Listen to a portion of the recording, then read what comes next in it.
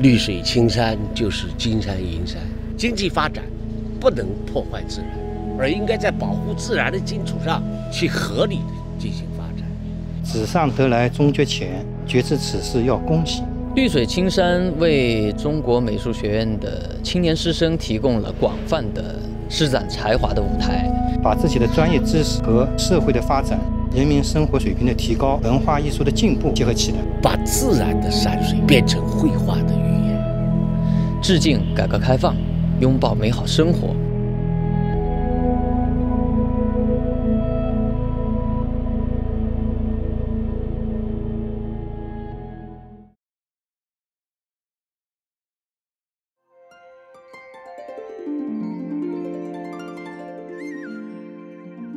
古人说。纸上得来终觉浅，觉知此事要躬行，就是强调实践对于人的学习、成长、进步的重要性。我们学院的艺术人才培养有一个非常重要的特色，就是重视实践育人。那么我们学校在育人的过程当中，每年都有学生下乡实习采风，嗯，这对我们的学生啊是一个很好的锻炼。把自己的专业知识和特长，和社会的发展、人民生活水平的提高、文化艺术的进步结合起来，为社会做出贡献。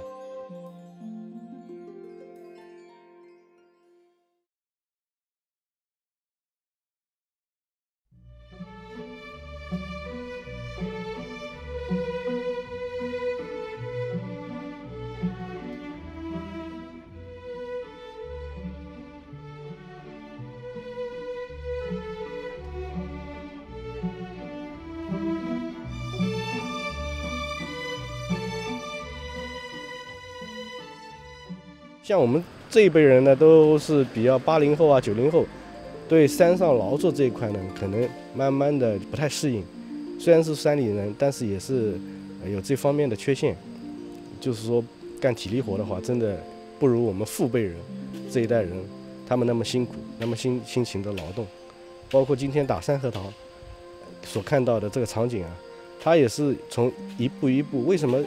因为人们当品尝到这个山核桃的时候啊。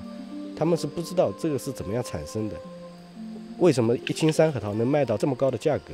那么这个过程当中呢，他所付出的农户所付出的，呃，这个劳动啊是非常辛苦的。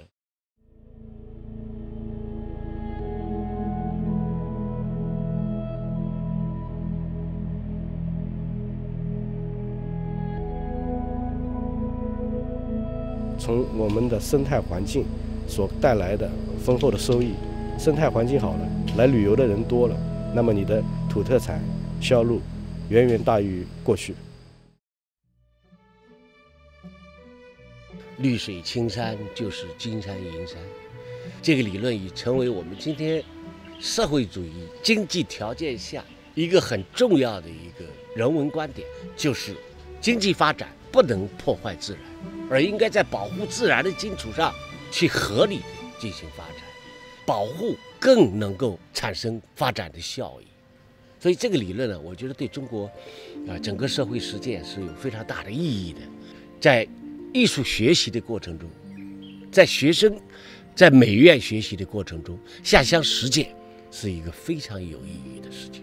对于学生来说，应该是打开学生观察世界的一个窗口。同学们要。在老师的启发下，学会用自己的眼光去看待这个世界。只有一个艺术家把自己的身体先借给世界，最后你的才才能在你的画面上表达出这个世界。呃，总归呢，习总书记到这里来的时候是零五年，我们的我们宜城呢比较富裕一个城，他来调研。那么我们富的在哪里呢？我们有水泥厂，有石灰窑。咱们矿山，那么他看到一个矿山，这批毛竹都死掉了。那么习总书记呢，呃，他说呢要把这个矿山、水泥厂把它停掉。为什么要赶为绿水青山？那么现在老百姓呢也富裕了，感觉到呢呢这个环境也好了。那么所以呢，我们就是在呃宜春啊考察的人也比较多。那么考察的人一多，我们更加要搞好。因为全国各地都来了，都来看你们这个这个城，这个这个面貌，为什么他们搞得这么好？我们这代人啊，是见证、分享改革开放重要成果的一代人，更应该是强国的一代。丽水青山为中国美术学院青年师生提供了广泛的施展才华的舞台。千村千村基层服务也是中国美术学院青年师生学习习近平新时代中国特色社会主义思想、践行社会主义核心价值观、八八战略、争做乡村振兴排头兵的最好的课堂。